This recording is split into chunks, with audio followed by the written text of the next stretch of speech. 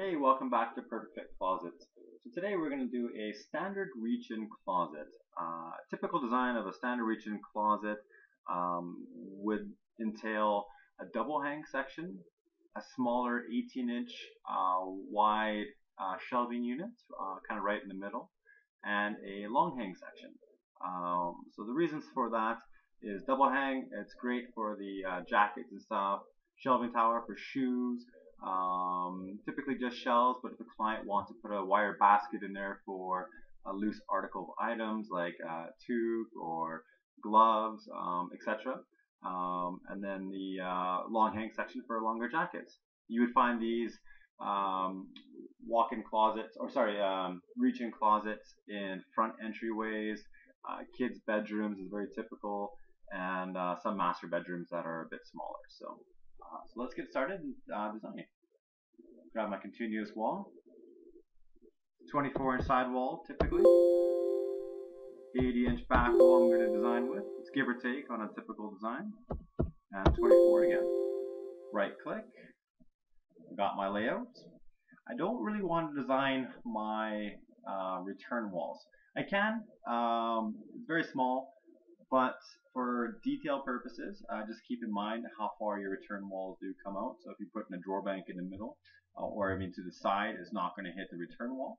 Uh, but if you're designing with a drawer bank in the middle, if there is drawers, uh, I would just kind of stick it in the middle uh, for that design. So uh, we'll double click on that, just on the back wall. I'm going to name this back wall. Hit OK. Alright, so I'm going to find my catalog. I'm going to find modules. Uh, I want to do a tall module single.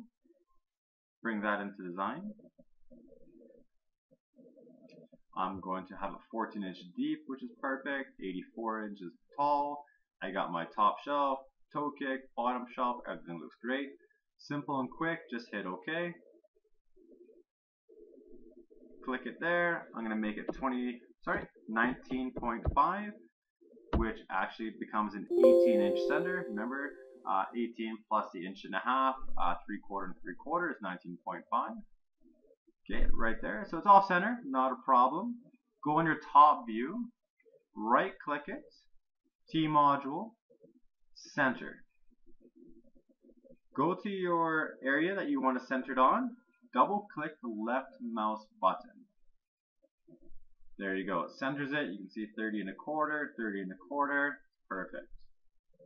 Okay, let's go to wall module single. I'm going to drag that into the left hand side here. I want to do, since I'm not going to cut on site, I'm just going to leave a little bit of room on the left, a little bit of room on the right, so I can just build it. So super quick build. I'm going to ask for a quarter inch of room between the wall and the panel. Left panel can be full drill, that's fine. And uh, right panel, I want it removed because I'm going to butt it right up into the other tower. Bottom shelf, I want it with a rod. You can see in my layout here. I'm going to hit OK. I'm going to push it right up against the wall here, okay? Left click my mouse button once. Drag it all the way into my middle tower left click the mouse button again. You click off the screen. There we go. So if you zoom right in, you can see that there is a quarter inch of space right there because I asked for it um, in the actual uh, uh, pop-up window. Okay, I'm going to do this very similar to the same thing for the right hand side. Bring this over here, drop it over there. 14 inches is great. I want to reduce my height though because I want to make it a long hang section. So I'm going to do about 28 inches. 27 inches is fine.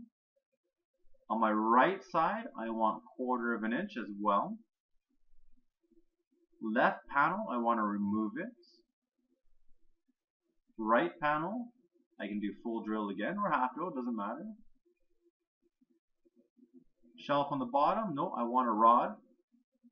Shelf on the top is correct hit OK. Butt it right up into the tower, left click the button once, drag it right to the back side wall, left click again, click off of the wall, you can see that there's a quarter inch of space there as well. So it's super slick, super quick. You don't have to uh, retouch the parts or anything. Okay, I'm going to go to my categories, accessories, rods, and oval rod. Drag and drop the oval rod into place, only for my top section because I do want a double hang. I don't want shelves in here. I already have that there, the rod there, so that's all done. I'm going to go back to categories, go to parts, shelves. I want one adjustable shelf in here. Drag and drop that item in there. If you don't, if you leave it too much of a space, it kind of a little awkward, and the client at the end of the day always asks for another shelf, so I typically design that. My fixed shelf. I'm going to put it right somewhere in the middle here. Keep that look. You need three points of contact in a big unit, tall unit like this. So one, two, and three. Those are fixed shelves. Then adjustable shelves. You kind of drag and drop wherever you want it, wherever you see deem fit.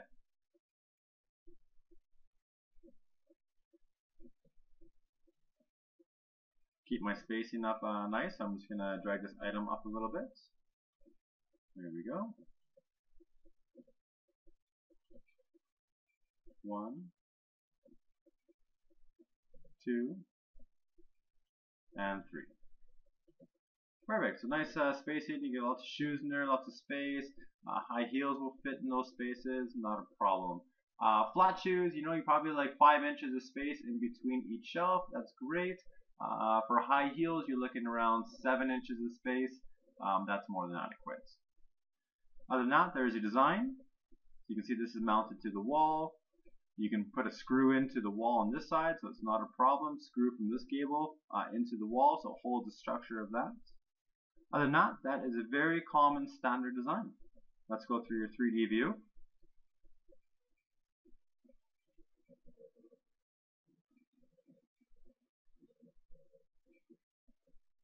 There we go.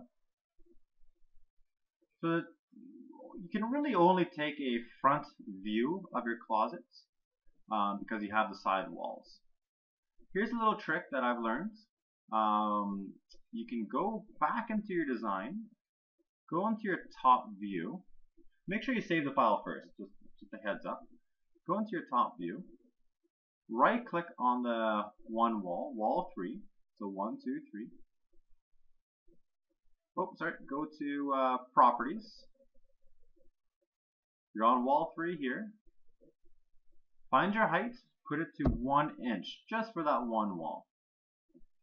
Okay, we go back to your design.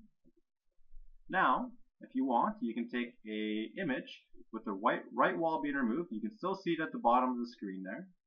And uh, then you can kind of take an angled shot. I have my walls and my floor already preset in my uh, pre uh, my uh, presets, my preferences. Um, that's in the beginning of the use tutorials. Uh, so it comes in already done for you. Seems a little dark. Let's bring some light to it. Go to scene. 60 watts. Makes it a little bit brighter. You can also remove the ceiling, so you can go to the texture, the uh, the round uh, circles here. You can uh, remove the ceiling. Might brighten it up a little bit more. Or you can go to ceiling you can go on, brings the light right up top, but let's position that light. So visible, oh sorry, this yellow light, so you're in the ceiling, this yellow light, you can bring it forward a little bit, you can see that the color changes as you, uh, or the brightness changes as you, as you bring it across. There, you can see some nice shadow lines and, and so on. So you can go to your view mode. You can select your quality of your picture, retouch the screen, and it sharpens up a little bit for you. If it's a little bit hard to see, sometimes you want to do a trick. You go color with edges. More of a kind of a cartoon look to it but it's really nice and clear. and if you click on the launch high quality rendering click on that it opens up another window just got to give it a moment while it uh, creates it nice thing about having the other window uh, open up is that you can go back to your design you can play around with it while it renders for you.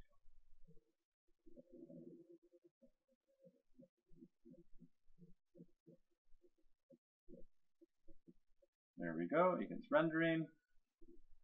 Sharpens up all the uh, jagged edges on the shelves and etc.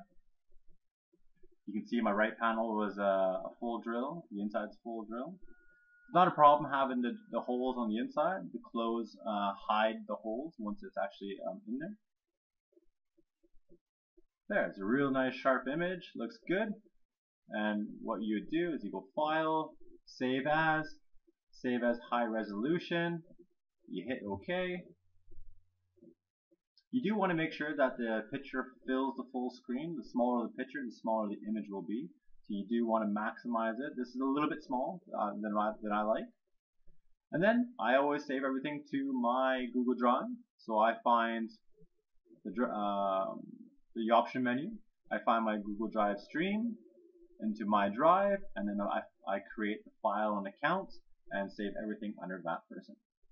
Super slick, super nice. Get out of that.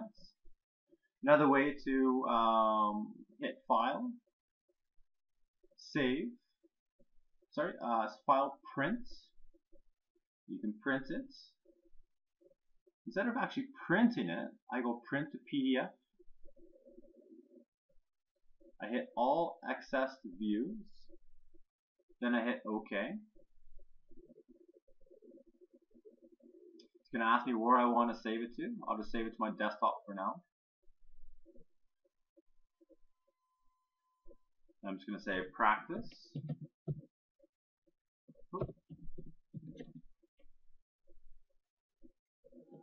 Save. Saves a few pages of design. And if I get out of this, I'll show you what it looks like. Prints in PDF. And I usually call this a plan view. So when I name it, I usually plan. So you can see all the dimensions, where everything is, the design, the front design of it. Scroll down. The top view of it. And there you go. So if you have multiple walls, uh, you design down, it will show multiple walls and then an entire schematic of the top view. You can send that to the client so they have all the literature uh, about the design and dimensions. And then you can also send the pictures as well. And that's all there is to, uh, to it for designing a front entry closet. Super simple, super easy. If you want, you can take some shelves out, put some drawers, put some baskets in, uh, because it is an 18 inch section, so uh, that's your uh, standard dimension. Okay, thank you very much.